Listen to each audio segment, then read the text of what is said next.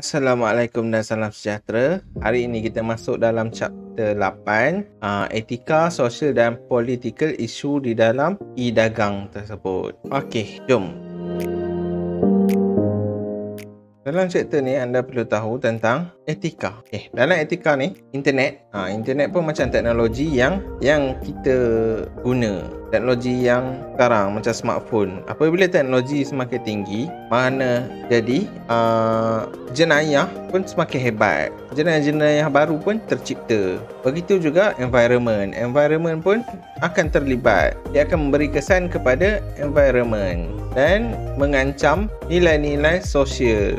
Jadi dekat sini kita perlu terapkan nilai-nilai kena tahu yang mana legal undang-undang yang sebenar dan culture guideline. Model untuk organize isu. Ha, baik kita katakan ini adalah isu. Okey, ada empat kategori isu. Empat kategori. Isu ni uh, boleh dirujuk kepada individu, masyarakat ataupun political. Ha, kategori tadi adalah information right, maklumat, property right, uh, harta, governance dan public safety and welfare. Ha, empat-empat ni kena ambil kira lah. Ha, isu, isu tentang masa kini dia melibatkan empat ini. Ha, okay. Internet dan e-commerce, ethical, social dan political. Ha, semua ni isu ni terlibat dengan empat-empat ni. Okay. Ethical concept. Etik ni adalah perbuatan betul atau salah perbuatan betul atau salah. Dia adalah tanggungjawab, accountability, liability. Liability terhadap undang-undang individu untuk recover damage. Ha,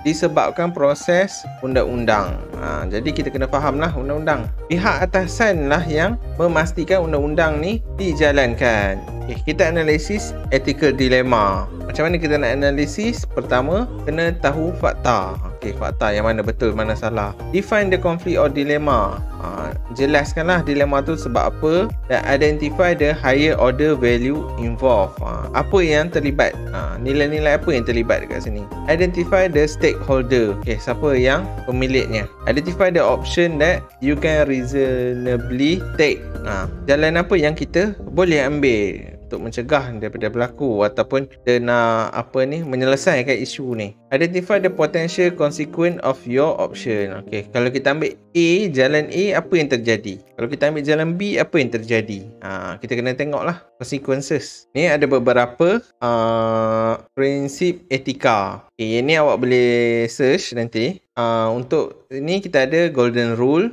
universalism, slippery slope, collective utilitarian principle, risk aversion, no free lunch, the network time test, the social network contract rule. Okay, semua benda ni dia berkaitan dengan etika. Bagaimana kita nak kita nak uruskan? Ha, tu dengan beberapa cara lah kat sini. Ha, nanti awak boleh baca lah benda ni. Ha, boleh tengok eh, boleh Google. Okay, privacy and information right. Apakah hak kita kan? Hak informasi dan hak privasi. Ha, kat sini ada empat. Right to control information. Ha, kita ada hak maklumat yang nak dikumpulkan. Right to be forgotten. Ha, right to know when information is collected and give concern.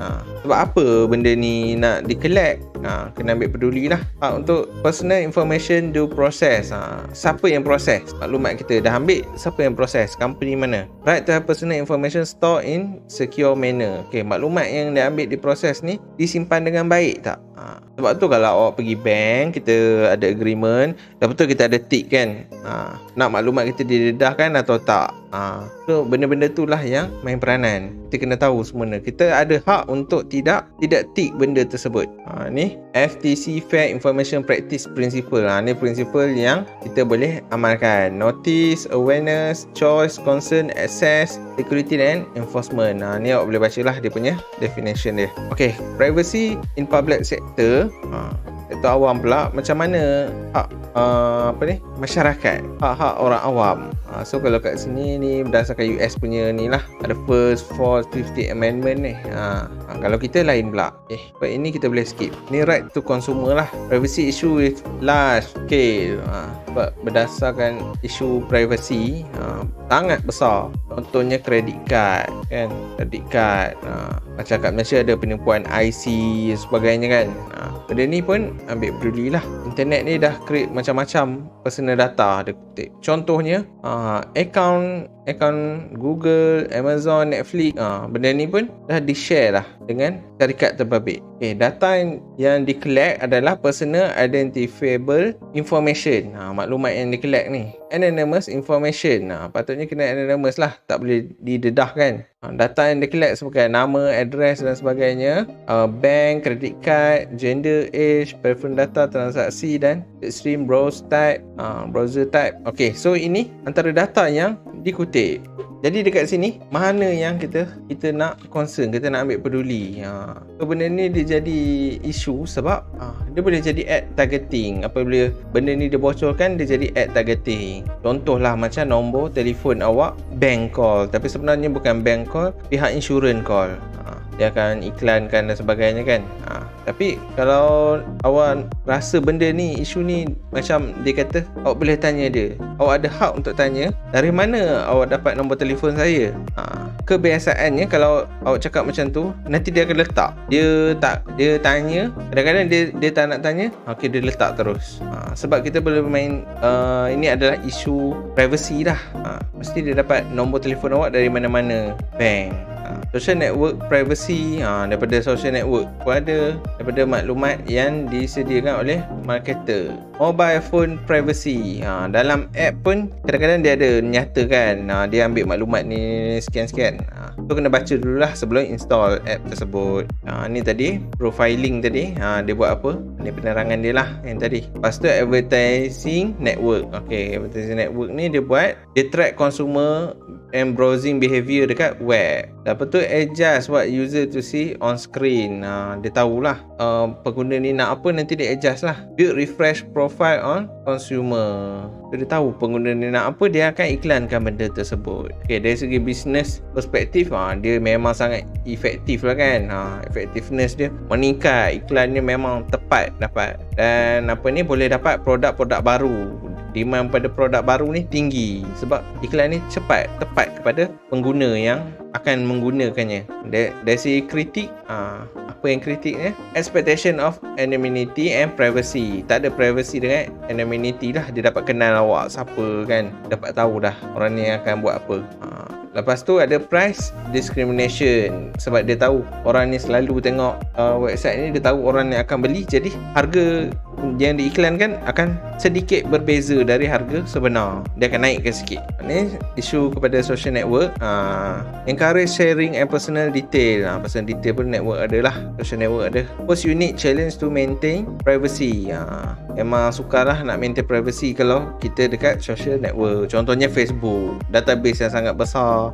Uh, serving ad to user not in Facebook. Uh, Facebook menyediakan iklan kepada orang yang bukan Facebook. Sharing information with third party parties uh, third party pihak ketiga lah. Uh, personal control over personal information versus organisation desire to monetize social network. Ok kita guna social network free. Tapi pihak social network ni menjual menjual data kita. Uh, tu monetize. Okay. dekat mobile apps isu dekat mobile apps. Okay. sama juga personal information dan ad targeting. Target eh track and store user location. Ha, sebab mobile ni kan dia ada GPS apa. Jadi dia boleh detect kita ada dekat mana. Ha, kadang-kadang kita tak tahu pun kita buka GPS tapi aplikasi tu yang akan detect sendiri. Ha, track user use ada app. Ha, kadang-kadang dia boleh track app apa yang selain dia guna daripada dia punya app sendiri. Ha, pun bahaya jugalah. Ha, dia dapat tahulah lokasi yang selalu digunakan. Kalau dekat US Supreme Court punya undang-undang polis wajib mendapatkan warrant untuk mencari cari maklumat dalam telefon. Ha, wajib eh. Okay. Ini Consumer Privacy Regulation. Ha, ni undang-undang kat US juga. FTC dipanggil. Ha, Fair Information Practice Principle. Ha, inform the concern opt in, opt out. Okay. Operation in and out. Harm based approach. Do not track mechanism. Ha, ada mekanisme yang gunakan. Tak boleh track. Ha, recent emphasis to give consumer right regarding the collected personal information information ha. Kalau dia nak collect maklumat Dia wajib kena ada benda ha. dia, dia ada tick uh, ada hak untuk tick kan? Uh, macam ni. Maksudnya dia kata dia, dia menggunakan maklumat ni ni ni ni. Awak tick baru boleh guna app tersebut. Uh, kena ada benda ni. Ini current privacy framework dia lah. Uh, scope dia nak apply kepada semua commercial. Company should promote consumer privacy through organisation at all stage in development of product. Okay, jika sini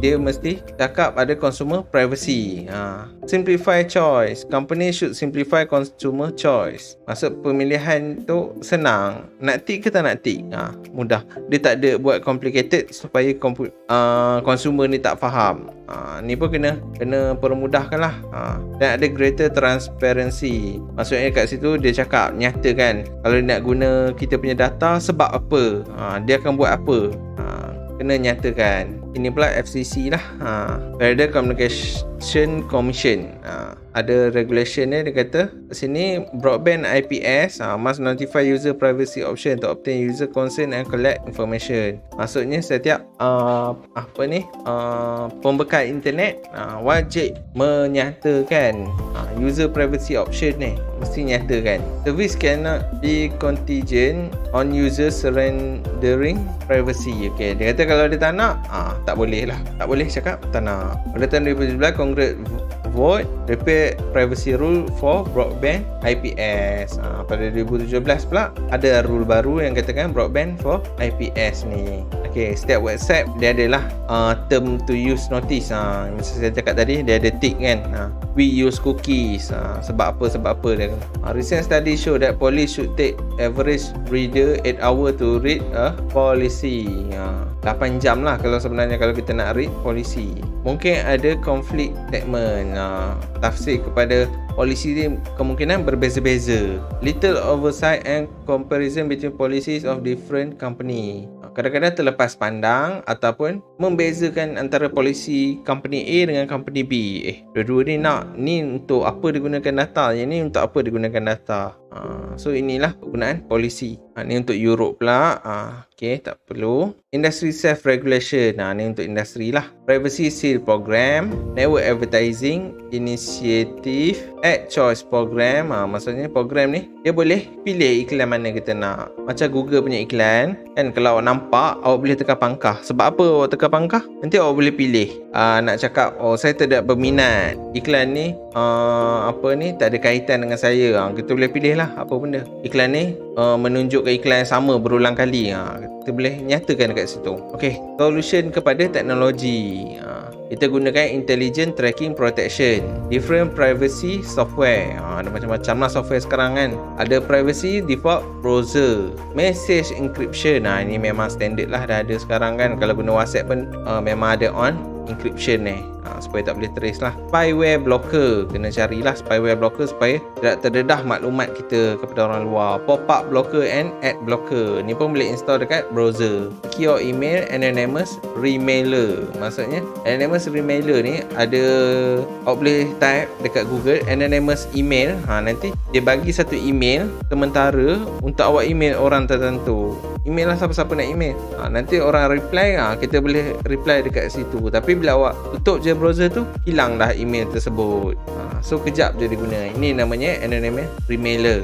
Ha, cookie manager. Ha, kita boleh manage cookie boleh padam cookie tersebut. Public key encryption. Uh, public key ni key yang sama lah digunakan untuk encryption. The privacy protection as a business. Uh, kena ada personal data ekonomi internet of me life management tool and privacy advocacy group. Uh, ni. Untuk company lah apply privacy protection tersebut. Ok apa limitnya kepada hak privasi ni? Limit dia kepada inilah law enforcement and surveillance contohnya kes Edward Snowden. Ha, ni awak boleh google sini apa kes dia ni? Dengan NSA PRISM program. Ha, digunakan data orang ni. Sebab apa ni? Betul ke salah digunakan ha, ni awak boleh tengok. Benda ni kat US lah. Ada cerita pun. Ada movie dia. Okay. Apple iPhone CE encryption controversy. Ni pun ada kontroversi juga. Awak boleh check pergi ke internet. Ok Supreme Court case limiting law enforcement ability to obtain data from mobile phone without a warrant. Ok ada yang ambil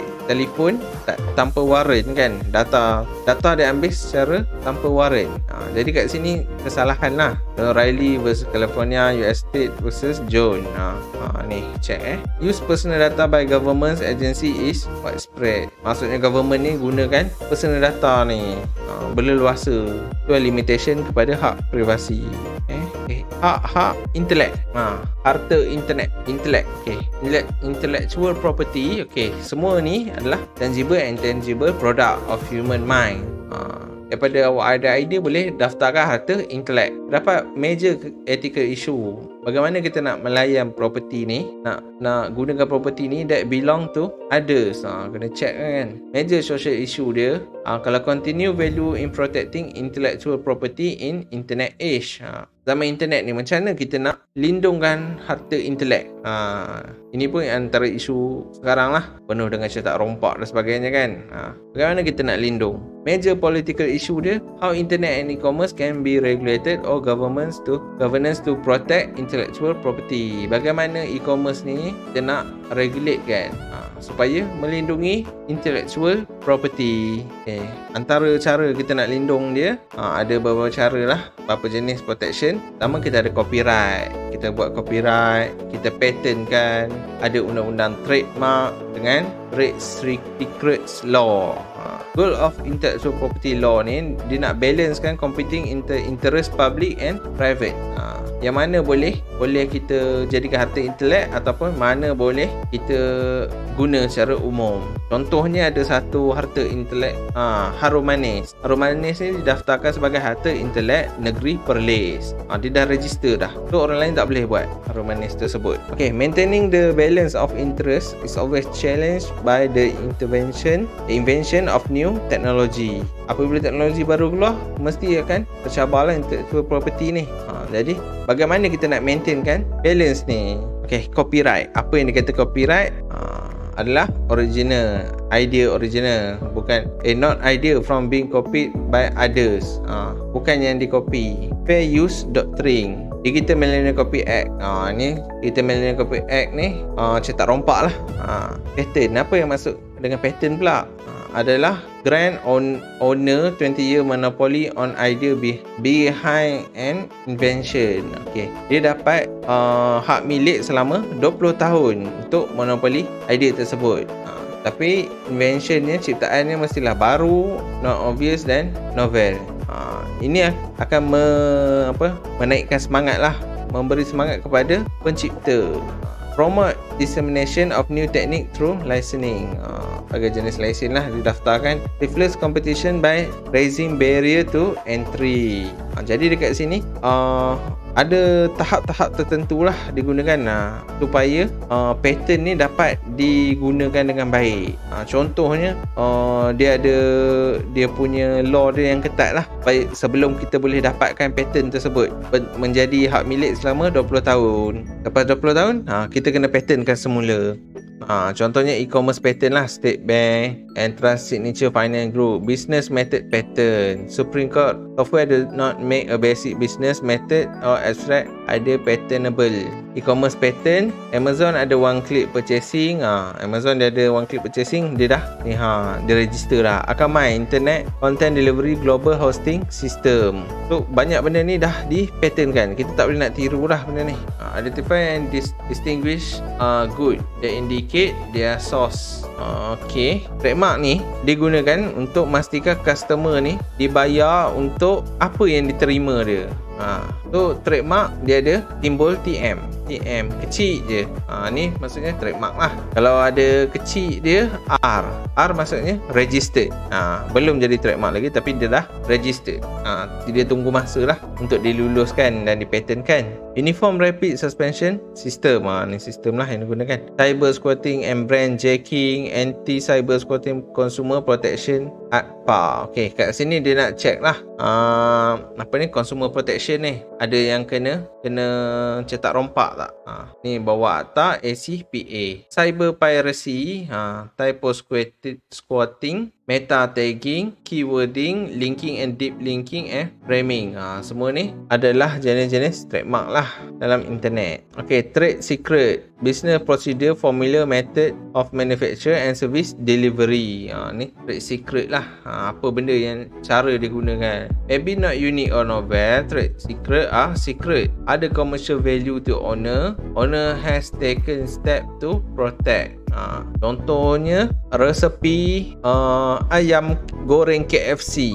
Ha, dia rahsia KFC. Tak ada siapa tahu kan. Ha, tu dia di bawah hat uh, di bawah jenis trade secret. Siapa yang mengawal selia internet dan e-commerce ni? Ha, tengok kepada environment lah. Ada self regulation. Uh, di coexist dengan government regulation. Contohnya ICANN daripada domain name system. Ha, dia internet ni senang dikontrol, monitor dan regulate from center location dengan gunakan domain name system tadi. Ha, dia dapat detect lah. Taxation, ha, percukaian, non non local nature of internet e-commerce. Kata, okay, tax mana yang digunakan adalah sales tax. As e-commerce grow, dia argue lah inability to tax remote e-commerce. Ha, suka nak dapat tax e-commerce kan, kata. Dan safety always billion tax dollar. Ha, kita dapat tak dapat nak trace kan. Jadi kat sini kalau kat US ha, dia kata Supreme Court menyatakan kalau guna online pun perlu ada cukai juga. Okey, macam kat Malaysia juga. Jika awak menjual secara online walaupun tak ada kedai secara online, bajet diregister dengan uh, ni ha uh, diregister dengan Suruhanjaya ni lah SSM. Ha, Suruhanjaya Syarikat Malaysia eh. Ha, sebab apa? Sebab dia nak taxation ni dia akan trace. Kalau untuk yang bisnes 30,000 setahun. Baru dikenakan cukai pendapatan. Ha, ni class discussion. Oh net neutrality. Ha, ni ini dulu ada satu kisah lah naik uh, apa ni? Tajuk dia net neutrality. Ha yang dikatakan internet activity yang kena same charge. Tak kira lah bandwidth dia guna banyak mana tapi sama je kena bayar. Netflix and YouTube together consume about 50% bandwidth United States. Ha, dia kata XP could throttle high volume user. Ha, dia boleh slow kan volume user. Kalau banyak orang guna dia kena slow lah. Pada Februari FCC regular broadband ISP should be view and regulated public utility. Ha, so tak boleh lah dia kata. Ha, semasa Trump net neutrality ni dah di repair tapi banyak negeri yang attempt to reinstate them sebagai state law. Uh, state law lah. Dia bukan kepada negara tapi kepada negeri saja. Public safety and welfare. Okay. Kat sini uh, ada protection lah. Contohnya child protection against pornography and privacy infringement. Uh, jadi ada undang-undang lah dekat sini. Effort to control gambling and restrict sale of drug and cigarette. Uh, perjudian, drug and cigarette. Uh, ada. Macam kisah yang terkini kan yang ada iklan raya uh, video iklan raya judi. Uh, sebab itulah di trace balik. Uh, prevent all secret trafficking act. Uh, ni tak nak rokok di uh, perjudian internet yang tak ada undang-undang increase the number of state law online gambling. Uh, ni bahayalah sebab tu kita kena ada public safety and welfare. Ok area e-commerce. Ok ini saja untuk hari ini. Sekian terima kasih. Assalamualaikum. Thank you